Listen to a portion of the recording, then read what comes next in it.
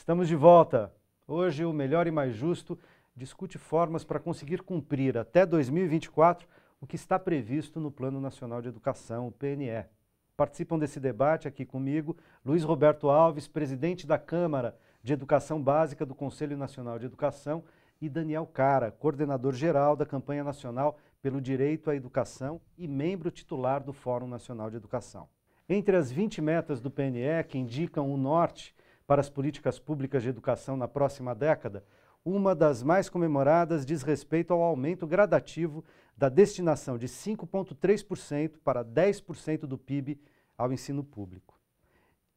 Tempos de instabilidade econômica, como chegaríamos a este aporte?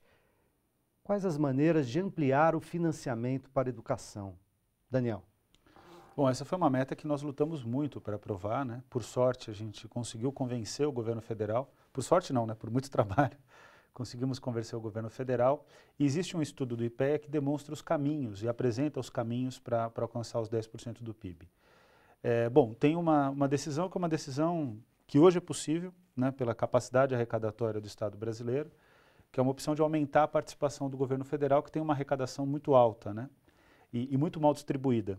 O governo federal arrecada muito e distribui muito pouco recurso. Essa é uma conclusão da própria Presidência da República em um relatório de 2010, do Conselho de Desenvolvimento uhum. Econômico e Social. Distribui para estados e municípios. Para né? estados né? e municípios. É, o governo federal também tem outras alternativas, estados e municípios também, de aumentar a sua capacidade arrecadatória. E aí mudaria o perfil tributário sem nenhuma mudança é, legal muito forte. Simplesmente fazendo com que aqueles que recebem mais paguem mais e aqueles que recebem menos paguem menos. Diminuir Mas, a regressividade da nossa Que é a regressividade da, da, carga, da carga tributária. tributária. Uma outra alternativa é a questão do, do petróleo para a educação, das receitas petrolíferas para a educação, mas não apenas elas, que já estão determinadas em lei, o uhum. pré-sal, né, principalmente, mas essencialmente de todos os recursos minerais. Quer dizer, deixa avançar... eu fazer só uma parte nisso, porque a gente é, atualmente tem um projeto em tramitação no Senado, Sim. um projeto do senador José Serra, que quer fazer alterações no modelo de partilha para o modelo de concessões e o que mudaria em termos de concessão, mudaria a destinação de verbas uhum. é, para a educação e para a saúde. Os tais 75% já consignados em lei para a educação e 25% para a saúde. Recentemente, o ministro Renato Janini fez uma, uma declaração se dizendo contrário a essa, a essa alteração, justamente por colocar em risco é, esses montantes do dinheiro do petróleo para a educação. Né? Na concessão, a gente passaria, então, é, para quem recebesse a concessão, o pagamento da concessão e a obtenção dos lucros, e assim como é, aliás, na, nos processos de concessão. Não haveria destinação do resultado da exploração em 75% para a educação. Como é que você vê isso e se você acha que há uma ameaça dessa fonte de financiamento em relação a essa fonte de financiamento especificamente? É, o, o, o senador José Serra ele optou por dois caminhos, né? O que está em debate hoje é, na verdade, a, a, a, Petrobras como agente único de exploração do pré-sal. É, e o que eu considero que é um, que é um crime de lesa pátria, porque a, a, Petrobras, ainda que não seja uma empresa pública, uma empresa mista, é uma empresa majoritariamente do governo federal, que tem controle acionário. Isso Sim, significa ele é o controlador, que a, né? a capacidade arrecadatória e de resultados da Petrobras, ela gera recursos para o próprio governo federal. Isso é importante que o Estado brasileiro tenha força inclusive para sair da crise, né? Uhum. É, independentemente superando a crise da Petrobras superando, e sair exato, da crise que, brasileira, né? Perfeito, isso quer dizer, independentemente da crise atual da Petrobras.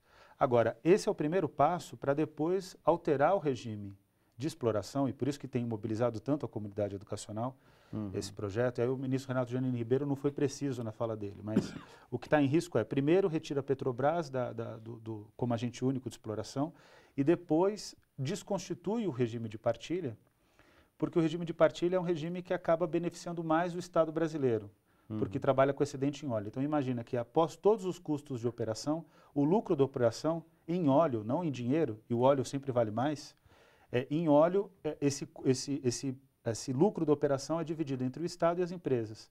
E o resultado disso vai ser um fundo social que deve gerar em torno de 30 bilhões. Se a gente, por ano... 30 bilhões ano. 30 bilhões ano a partir de 2024 hoje, né? na, na previsão mais otimista que nós temos. É, se a gente regredir para o sistema de concessão, que é o objetivo do senador José Serra, a gente teria algo em torno de 7, 8 bilhões. Então, uma, uma queda em é termos... uma perda imensa né, é, isso, de recursos. em termos de, de recursos Estado, enorme. Governo. Isso, é, esse recurso do, do, do, do petróleo é fundamental para subsidiar os 10% do PIB.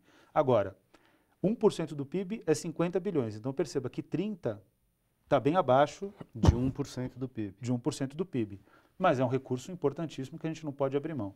E outro caminho que nós temos é regulamentar impostos que não estão regulamentados, especialmente o imposto sobre herança, o imposto sobre grandes fortunas, e tem algo que está sendo pouco debatido no Brasil, que é exigir que os brasileiros que moram fora, ou que têm operações financeiras fora do Brasil, paguem os seus tributos. Isso deve gerar, tudo só em termos de previsão, uma receita de 50 bilhões de reais no mínimo. No, por ano por ano. Deixa eu ouvir o Luiz Roberto sobre isso, a questão do financiamento, e botar só mais uma pimenta nessa história, uhum. porque é, eu acho quase imoral, posso estar errado, é, mas eu acho quase imoral que é, as empresas, as pessoas jurídicas, em sentido geral, das pequenas às maiores, tenham, né, paguem o imposto na pessoa jurídica e os seus acionistas, os seus sócios, enfim, recebam a título de distribuição de lucro é, sem nenhuma tributação.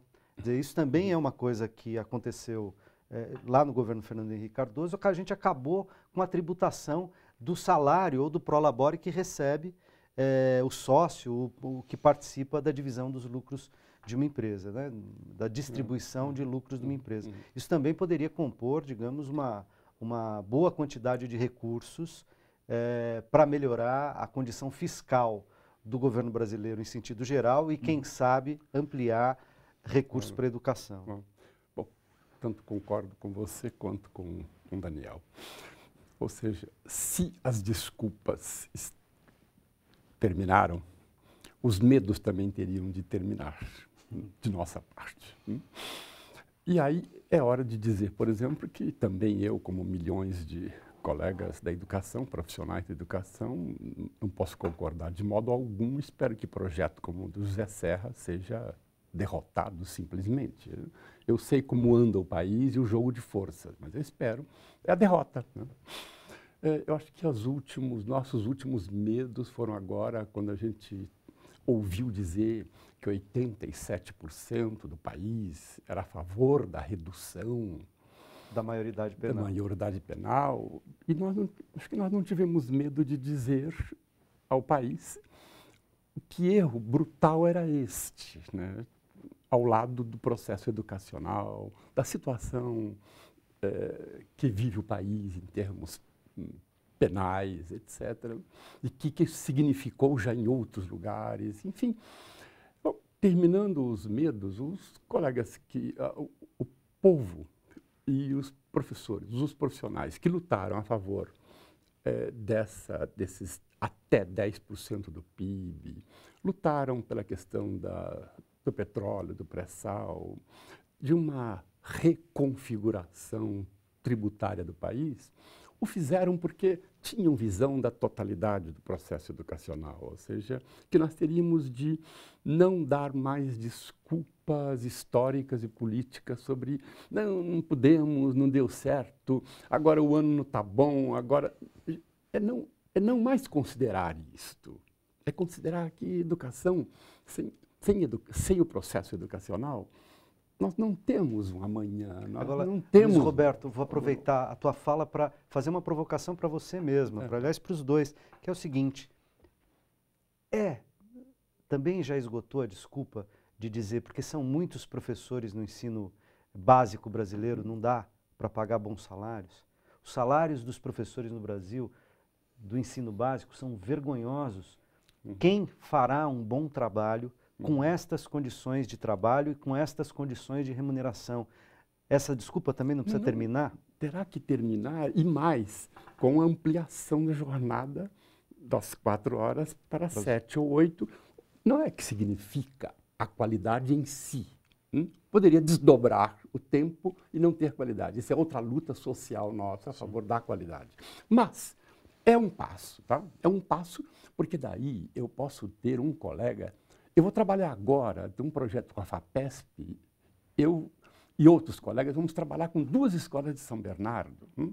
A Suzette, no Tabuão, e a Kennedy, no, no, no, no Assunção. Nós vamos trabalhar com duas escolas que optaram pelo tempo integral. Os colegas todos trabalham lá dentro e têm de assinar que não trabalham noutra. Como nós também na universidade, né? Sim, nos regimes de dedicação exclusiva. Sou professor aposentado da USP. Eu sempre tive de dizer que não trabalhei em outro lugar, e de fato não trabalhei. pois bem, é necessário assinar, é necessário exigir muito, eles são avaliados, eles se autoavaliam. Muda muito, o colega muda na, no, no, tempo alargado, com, no rumo da qualidade. Eu não estou dizendo que é a qualidade ainda, é o tempo alargado que vai na direção da qualidade. É, e a implicação com o processo, exatamente, né? É, exatamente, é um processo maior. E não com a fragmentação com e dois, três, ainda, quatro, cinco empregos para compor um é salário possível. Os razoável. colegas se ganham hoje 1.900 ou 2.000 fora de cogitação. Os colegas precisam ganhar 6, 7, 8 como engenheiros podem ganhar, como outros podem ganhar. Essa é a luta pela qual, em São Paulo, se sofreu tanto. Uma, e no Paraná, mais, com a mais em, em, parte também era essa. Longa luta. greve. Claro. É, se sofreu sem resultado, mas não tem importância. O não, magistério já conhece. Né? isso. Tá? Eu me lembro também das minhas faltas injustificadas nos anos 70 e dos problemas graves que sofri. Não tem problema. É luta. Mas é isso.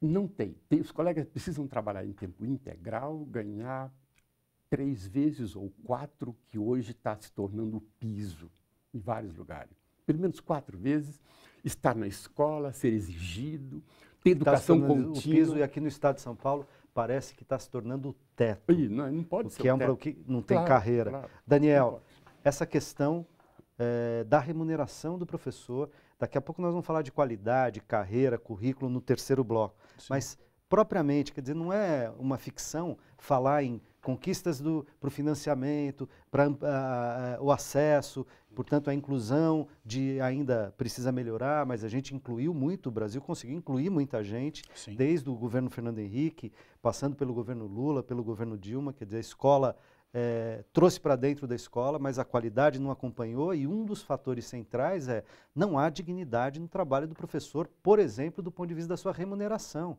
Uhum. Né? Há, há, muita dignidade no trabalho do professor, não há o reconhecimento dessa dignidade, por exemplo, pela remuneração. Como enfrentar isso? Então, o cálculo dos 10% do PIB nós fizemos com base no estudo do custo aluno qualidade inicial, que tem um, um parecer aprovado por unanimidade no Conselho Nacional de Educação e que precisa de homologação pelo Ministério da Educação. Basicamente, com o cálculo do CAC, dos 10% do PIB, 8% ficam com educação básica e cerca de 7% do PIB deveriam ir para a remuneração de profissionais da educação. Então, quando a gente fala de financiamento... Quanto é hoje? Você tem esse número? 7% do PIB a Não, cada... quanto hoje é investido do PIB em remuneração dos em remuneração, professores, dos é tais 5 e pouco? Cerca de 3. Cerca de 3. Quer dizer, teria que ser mais do que o dobro. Mais do que o dobro.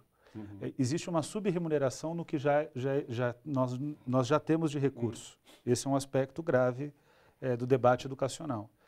Isso está mudando porque os gestores estão sendo muito pressionados. Então, esse movimento de greves que o Luiz é, citou aqui, ele é um movimento importantíssimo porque está mostrando para a sociedade aquilo que o mundo já sabe. Eu fui recentemente para a Coreia do Sul e é muito claro, o discurso de qualquer sul-coreano, da presidenta né, da, da, da Coreia do Sul, até o professor, até o aluno, Educação é basicamente material humano e significa obrigatoriamente que o financiamento da educação deve priorizar o grande investimento humanos. é em gente. É em gente, porque a gente que educa a gente. Né? Então é o, é, é, o conceito que está estabelecido. Agora, é, é preciso trilhar um pouco do caminho que o Luiz colocou aqui. Não, não basta o piso, o piso foi um primeiro passo, primeiro passo que infelizmente ainda não está universalizado a gente precisa encontrar no Plano Nacional de Educação, daqui a seis, não, daqui a cinco anos, já passou um ano do plano, nós temos que equiparar o salário dos professores aos demais profissionais, em termos de média. Depois Os nós demais temos, profissionais da educação ou de não, nível superior? Não, de nível superior, de nível superior, com escolaridade de nível superior de cerca de quatro a cinco anos né, de, hum. de curso que era o exemplo que o Luiz dava lá, ganhar como ganha um engenheiro, uhum. ganhar como ganha um médico. Uhum. É um médico. Infelizmente, que nem engenheiro nem médico, porque é na média, né? Então, na média é bem mais baixo do que. Vai ser bem mais baixo. Mas é, a gente tem que saltar, para você ter uma ideia, de um patamar hoje próximo de 2 mil para uma média de quase 3 mil. Uhum. Ganhar mil reais em média, considerando todos os 2 milhões de professores, Não é pouca coisa, vai ser um esforço financeiro importante. E aí nós temos esse desafio agora, que é, diante de um ajuste fiscal, conseguir trazer esse recurso para a educação. E aí é, é preciso fazer um recado claro para os gestores, para os governantes brasileiros. É preciso dar esse recado de forma muito clara. Educação tem que ser prioridade. E prioridade tem que ser a prioridade das prioridades. Isso significa que não basta é, as necessidades de ajuste, é, as questões que hoje estão apresentadas. Eu concordo com o Luiz, já acabou já a caixa de desculpas. A Ou gente seja, precisa... não dá para fazer mais do mesmo. Nós precisamos fazer melhor e diferente. Exato. fazer mais um intervalo e daqui a pouquinho a gente volta com o terceiro e último bloco do programa. Não sai daí.